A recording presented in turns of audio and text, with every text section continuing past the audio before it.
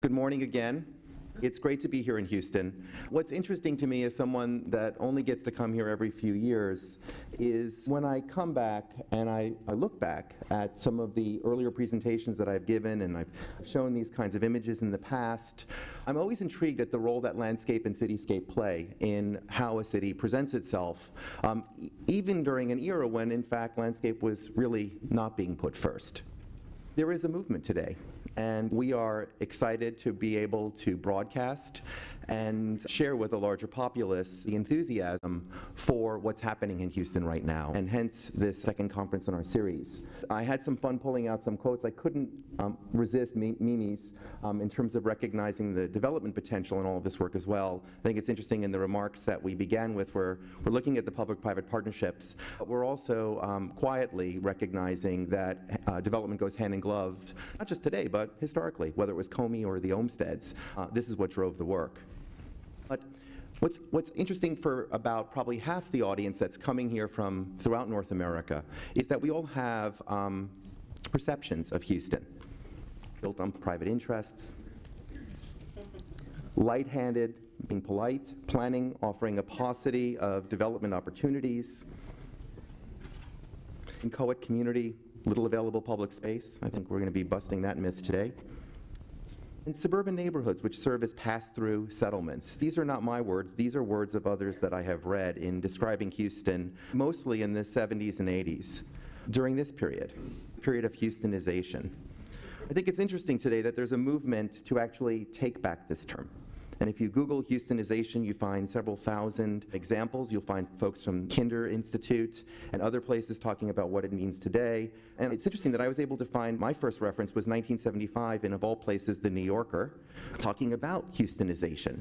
So are we today looking at what the next chapter of Houstonization looks like? But here's the reality low-lying. Anyone that's flown in in the last few days knows firsthand. I thought it was some of the most exciting turbulence I've had in quite some time. There's something kind of magical when you hear the wheels coming down and you don't see the ground, and then you're there. wow. But, you know, um, it is this drama uh, that people live with here every day. So how do we deal with that? And yet, we forget. We forget that Houston owes its growth to its location on the arm of the Gulf of Mexico, Buffalo Bayou. We forget that at the early 20th century, Houston was an exporting center for cotton, rice, wheat, and the development of trade along the bayou. And we forget about the advent of the railroad caused Houston to become a railroad as well as a shipping center. And you know, it's always interesting when you look at some of the park plans that happen, not just here in Texas with Kessler and in Dallas and El Paso, but other parts of the country. There is obviously a direct connectivity between the civic gestures that flowed out of the City Beautiful era and the railroad that enabled city shaping at that time. So what I'm going to do now is give you kind of the Monarch Notes version, even smaller, of the shaping of the city. Now, what I was fascinated with, as someone who comes from the Northeast, who grew up in New York where you had parks that went back to the 1860s, is that the first parks in Houston, lo and behold, were privately funded. Coombs Park, for example, which is also known as Forest Park, was a former amusement park. There are many celebrated images of the former natatorium, if you Google. And after this, of course, we have, like in a lot of American cities, a great rural cemetery where people went for passive enjoyment to interpret art and nature. And here, of course, it's uh, Glenwood Cemetery. Emancipation Park, created and built for people of color. And then we have Highland Park, today known as Woodland Park. And what I find interesting here is just this gesture of promenading, whether it's Park Monceau or Central or Prospect Park, that before the advent of public parks, people were still using parks in a way that they were in sort of American and European precedents. Now, nested into this in 1899 is the first municipal park, today known as Sam Houston Park. What's so interesting to me about these images is they're all taken within about a 12-year period. This is an expression we would use today about parks that are being loved to death.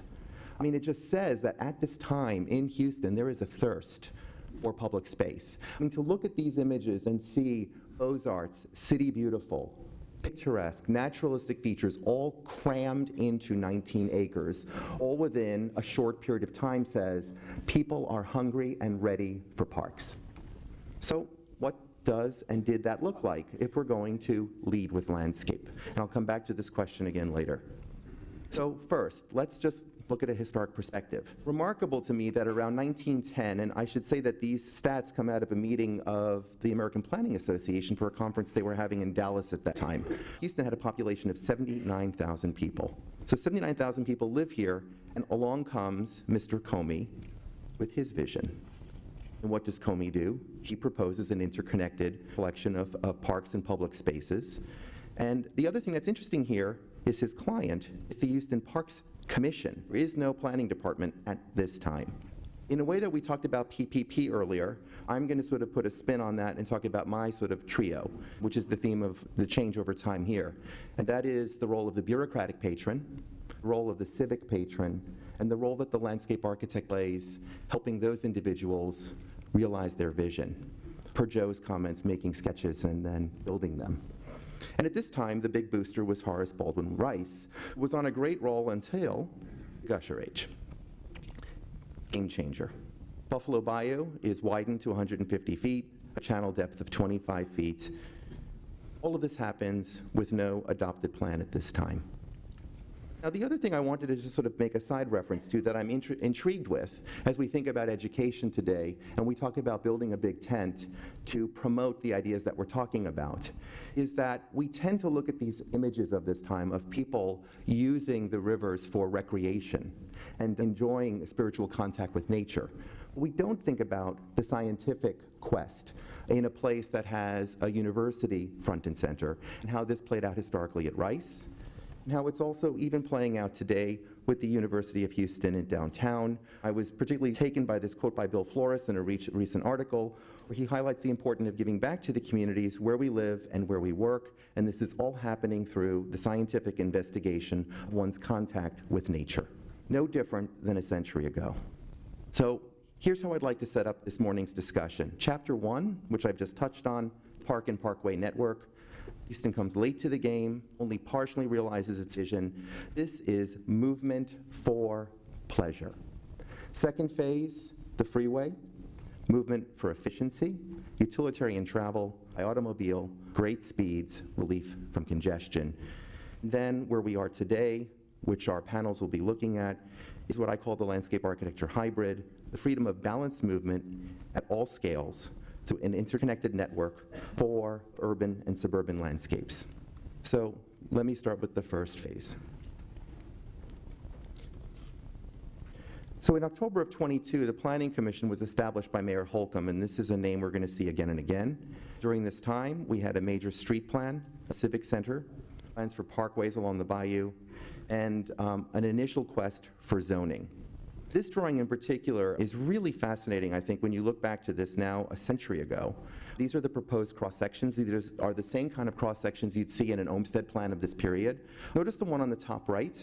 It's interesting because it's only taken 100 years, but I would say that this is design workshop. You guys are using a little crib sheet here from Comey. this is Post Oak Boulevard. The only difference here is four feet. This is the same cross-section, of course using the technology that we have available today. But the hand of the landscape architect is something that has been proposed here for a century. It's just taken us a little while to get there. now, if we're going to talk about these places, and we have already seen the planet alignment under the parks leadership and the mayoral leadership in recent years, this was no different historically. And here it was three individuals. First, Mayor Holcombe, this is astonishing to me 11 non consecutive terms, 22 to 57. Will Hogg, the great civic patron, and Herbert Hare. And here again, what's remarkable 1923 to 1960, serving as the city's official planning consultant. Now, about a decade before planning comes about, we have Houston's first Parks Commission, and the gift of parkland by George Hermann. Here are just some samples of those plans, including the work of Kessler and Hare and Hare. We'll hear more about these in the presentations later today. And then, of course, Hogg gets to serve as the first chairman of the commission, which is reestablished with serious intentions in 1927. That's phase one. Then we have phase two, the freeway. This is the proposed freeways in 1942 in Houston. We talk about people who have shaped the American landscape in our Pioneers programs at the Cultural Landscape Foundation. I have to confess that before we began this process, I had never heard of William James Van London, who was the engineer and manager behind the Houston freeways, was also the person credited with creating the feeder street network. Now, this to me is the important takeaway in Tom Watson's recent essay about him. Quote, while Van London had the authority and design skills and Holcombe provided necessary political support, the early freeway system could not have been constructed had it not been for a supportive population. History is repeating itself today. Vision and the values have shifted. Here it is for the ribbon cutting. It was the longest toll-free superhighway in the US. Mayor Holcombe was very smart. He had the foresight to recognize that the acquisition of the right-of-way for the Galveston-Houston Electric Railway Company in 39 would provide the perfect forum. And this is a bit of trivia. Under Holcombe's watch, Houston became the first U.S. city also for sequential traffic lights and parking meters. Let's hear it for the parking meters. now, the resulting traffic congestion created popular and sustained support for the freeway projects and for Holcombe himself. And no surprise, I'm sure for the locals, you're aware of the statistic. For me, when I learned this, it kind of knocked me out of my chair. Three quarters of Houston has been built since 1945. We can thank the freeways and Van London and Holcombe. Now, here's some interesting statistics. Two years after the freeway opened, 100,000 vehicle miles were traveled. The first traffic counts, 28,000 cars. Two years later, 62,500 cars. 82, 150,000 cars. In 2012, it was 245,000. What's interesting, it was down from a peak of 269,500 in 2001. Unlike the Katy Freeway, whose average daily traffic has gone from 238,000 in 2001 to 268,000 in 09 to 360,000 in 2012. So what's next?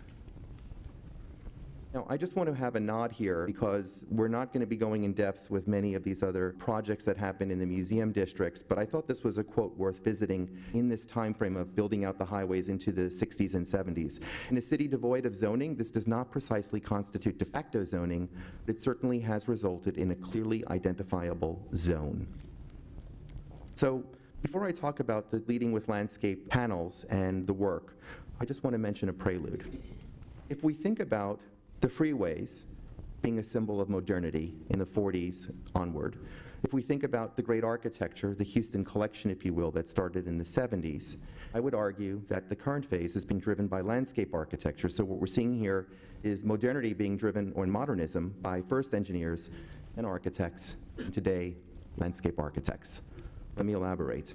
Regarding the Katy Freeway, this was in the Atlantic City Lab just last month, the mayor said these types of projects are not creating the kind of vibrant, economically strong cities that we all desire. Now, I'm a native New Yorker. You know, for me, Ada Louise Huxtable was oxygen growing up. And, um, you know, have you kicked a building lately? If you haven't read it, classic. During the bicentennial, Ada Louise writes about the Pennzoil building. Houston is the place where money, power, and patronage are coming together in a city of singular excitement and significance in the 70s. She concludes, if Houston has found the formula for turning prosperity and growth into beauty and elegance, it is indeed the city of the future. You could write that today. And it gave rise to the Houston Collection. And we know these people. All I have to do is say Philip, Renzo, Mies, Cesar, you know who I'm talking about. But what we shouldn't forget, again, are three players. In this case, it is, of course, Gerald Hines. Gerald Hines, quoting Barrie Scardino, executive director of the AIA, said, architecturally, Houston would be pretty poverty-stricken without him. This is, in fact, the Houston collection. Now, what's also interesting to me, and I didn't know this until I saw an interview recently, is that Tom Bacon who's been such a great supporter for all this work, prior to founding Lionstone in 2001, he worked for Hines. And I think what's interesting here is that with the public-private partnerships that we're seeing today, that the kind of civic patronage that we've seen is we're moving from building objects to systems and to landscapes. Bacon also serves as, for those of you not from Houston, serves as chairman of the Houston Parks Board, whose mission is to create, preserve, and advocate for parkland. And astonishingly, the organization has added 14,000 acres of parkland. So I don't know if everyone here saw Mimi Swartz's um, extended uh, piece in Texas Monthly a few months ago, but she's having a conversation with Bacon. And Bacon asks her, What's your picture of Houston? And she says, I had to think a moment, then I got it. A map of the city with all the freeways, I answered. But what if your picture of Houston was this? A series of narrow rivers flowing in a larger body of water, he says. And he concludes, that's Houston, green infrastructure instead of gray infrastructure. I don't know about the other landscape architects, but I got goose pimples when I read that. he concludes, though, by saying, that kind of notion could have gotten a person committed here 20 years ago. I didn't actually know that Ben Carson's announcement, speaking of crazy, would coincide uh, with this morning's presentation, but thanks for keeping me relevant, Ben. And again, let's go back to that earlier statement. As with the early freeway system, today's park renaissance could not have been constructed had it not been for a supportive population. So, is this where we are today? Is this the new Houston collection? And that's what we're going to explore. Our first panel will be looking at all of these projects. And just very quickly, the projects um, as part of the first panel will include Kimbell Museum architect Lou Kahn and the landscape architect Harriet Pattison working on the de Menil campus. I was unaware of these earlier plans. We've just completed an oral history with Harriet Pattison. And I wanted to show this. I'm, I'm not going to read the quote on the screen, but what's so interesting to me about this work is when this work is done, we're saying it's okay to be a pedestrian. It's okay to go into a neighborhood and not tear down the houses. It's okay to work with the bone structure of a place, and it's okay to get out of your car. And so for me, this idea of what was already happening on the great civic campuses here in Houston was being translated to a broader public realm. The other thing that's interesting to me about this is you think about the kind of sheds and, and, centers of cultural energy that are created in communities today. According to an essay by Simone Swan, she was then the executive vice president for the DeMenil Foundation, notes, community bulletin board or marquee was one means under consideration to inform neighbors and invite them to attend their scheduled or impromptu events and exhibitions. We have to realize that today there is so much information readily available. If you're in whatever population, whatever silo you're interested in the landscape, there's a social media community there to greet you. And so, in a way that the de Menil was trying to say, let's reach out to the community, I believe that the kind of civic engagement we have today has been magnified because of the potential we have through social media. My favorite quote, also in Mimi Swartz, she opens with, is referring to the former mud hole at Hermann Park. I remember seeing the before. I remember hearing about the work that Laurie was doing. And I think the important thing that I just want to say here about Olin's work early on is it also taught people what a landscape architect is, what a landscape architect does, and how to have big civic vision and ideas and then the patronage muscle to pull it off. This was the game changer, and it's why it's part of the first panel in um, establishing the necessary foundations. Building on the public-private partnerships that we saw there came Discovery Green, and we'll have Mary Margaret Jones presenting this work. The park was envisioned by Houston philanthropists who saw the land as a once-in-a-lifetime opportunity to create an urban park that would redefine the landscape of downtown, and it is known internationally. Buffalo Bayou, in a recent conversation with Scott McCready noted, was well loved and well used, and SWA's role was to amplify what was already there. So again, working within the bone structure of a place, and then looking ahead. The second panel, Engines for Revitalization, Levy Park, through the form, foundation of another public-private partnership, the transformation of a forgotten 11-acre site into the centerpiece of a district began to take form, and we'll have the Office of James Burnett presenting this. Reed Hildebrand and Design Workshop visiting the Arboretum, the succession of extreme droughts and floods affecting Houston over the past decade are evidence here of the region's changing climate. At 155 acres, the Houston Arboretum and Nature Center aims to reconcile the community's desire to restore what they've lost with the reality of ecological systems in flux, with a plan predicated on exhaustive research. West 8's master plan for the Houston Botanical Garden aims to transform a 120-acre golf course just eight miles from the downtown into a center for scientific research and a cultural destination for Houstonians and visitors alike.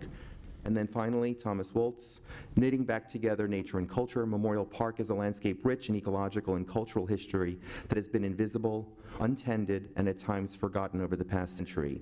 It's twice the size of Central Park nearly. Memorial Park offers a remarkable opportunity to reset the distinct ecosystems of the park disrupted by transit infrastructure, invasive plants, and six years of drought and flood. Where else can you see four projects of such ambition simultaneously being talked about right now in the US? Now let's investigate what the planet alignment looks like if we aspire to lead with landscape. But first, a few words about the panels. We asked each speaker to address the following four themes in their presentations. One, the role that nature and culture play in forming design and stewardship decisions. This can range from earlier designs by notable landscape architects and planners to climate events and invasive species. Second, the idea of connectivity, natural systems, cultural lifeways, transportation, watershed, migratory patterns. Three, enabling, leveraging, and nurturing public-private partnerships, how to communicate, how to collaborate. And fourth, how do you measure success in your own work, and how does it stack up here in Houston?